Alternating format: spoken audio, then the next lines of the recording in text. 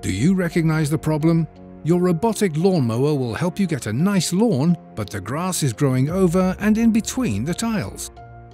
The overall impression could be better. We have the solution. Robot Mower Edge from Grimsholm supports your robotic lawnmower and saves you a lot of work. It effectively stops the roots from growing in between the tiles through root protection and the edge cutting can be limited to only once a year thanks to the grass guide.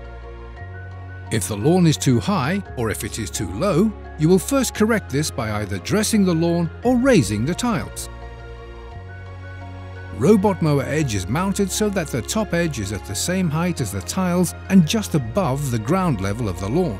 And best of all, you mount by yourself very easily. Find out where the signal cable is in order not to damage it when installing the Robot Mower Edge.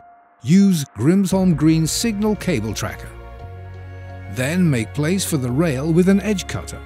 Brush off soil from the edge of the tiles to prevent the presence of organic material that grass or weeds can grow in. Put down the flexible robot mower edge in the slot you created. Make sure the height of the top edge of the rail has the same height as the tiles and the ground level of the lawn is slightly lower than the robot mower edge.